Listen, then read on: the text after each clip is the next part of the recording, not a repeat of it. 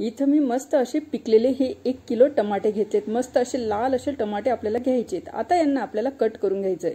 याचा मागचा भाग मी काढून घेतला आणि छोट्या तुकड्यांमध्ये यांना कट करायचंय. एका टमाट्याचे चार ते सहा पीस आपल्याला करायचेत मी सगळे टमाटे कट केल्यानंतर इथं कुकरमध्ये यांना काढून घेतलंय.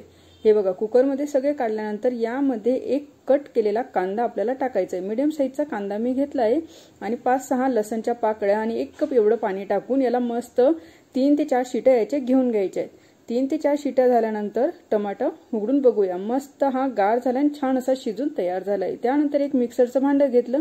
त्यामधनं याला मी दळून घेतला. मस्त याची पेस्ट बनवून तयार झाली.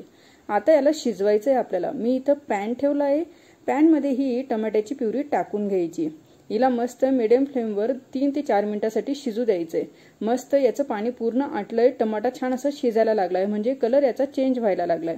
आता यामध्ये मसाले टाकायचे दोन चमचे लाल तिखट टाकायचंय मीठ टाकायचंय चवीनुसार आणि दोन चमचे मी इथं विनेगर टाकलंय. विनेगर टाकल्याने हा टमाट्याची चटणी जास्त दिवस टिकते मग. नंतर दोन चमचे मी इथं साखर टाकून घेतली आहे याला छान असं मिक्स करायचं आहे आणि मस्त अजून घट्ट होईल तोवर याला शिजवायचं आहे हे बघा मस्त घट्ट झाली ही चटणी बघा किती छान कलर आणि किती परफेक्ट बनून तयार झाली यातलं पाणी सगळं आटलंय. आता मी बाऊलमध्ये या चटणीला काढून घेते.